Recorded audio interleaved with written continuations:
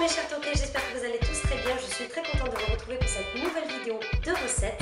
Aujourd'hui, je vous propose un biscuit moelleux, très facile à faire. C'est un biscuit viennois, donc il ressemble à la génoise, il est beaucoup plus aérien et beaucoup plus léger et même moelleux.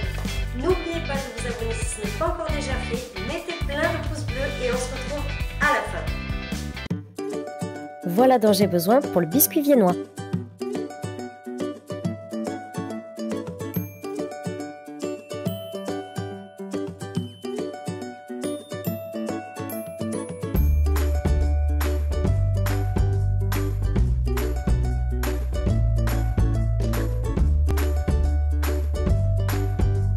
Première étape, je réalise une génoise, donc je mets les œufs, les jaunes et les 40 g de sucre dans le bol batteur et je monte pendant environ 10 minutes jusqu'à ce que ça triple de volume. Pendant ce temps, je verse les blancs dans un cul de poule et je vais réaliser une meringue française. Donc je vais les monter avec le batteur. Je rajoute les 65 g de sucre en deux ou en trois fois dans le mélange.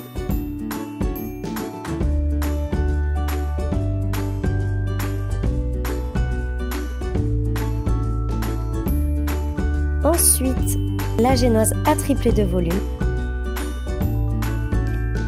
Et je vais pouvoir rajouter la meringue type française dans la génoise délicatement à la marise.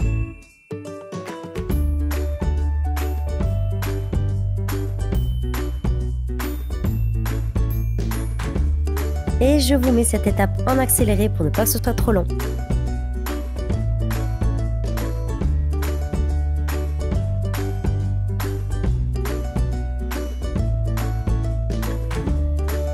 Voilà le mélange que j'obtiens.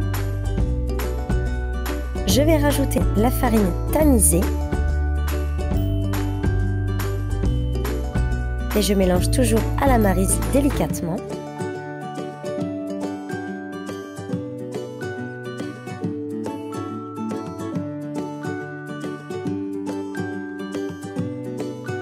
Je plaque mon biscuit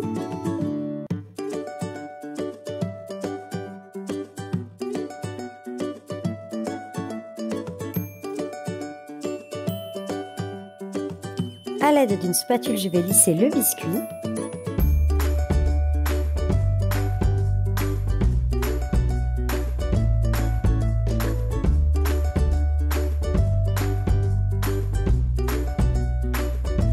Et je cuis mon biscuit 15 minutes à 180 degrés. Et voilà à quoi ressemble le biscuit viennois après la cuisson.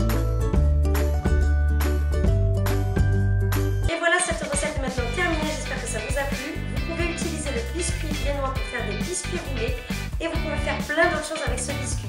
En tout cas, je vous dis à très bientôt pour de nouvelles recettes. N'oubliez pas de vous abonner, de lâcher